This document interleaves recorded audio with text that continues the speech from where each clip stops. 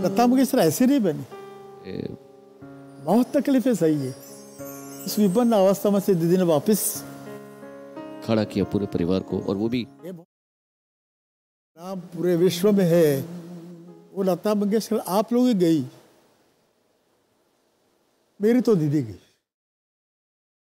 आवाज़ ही पहचान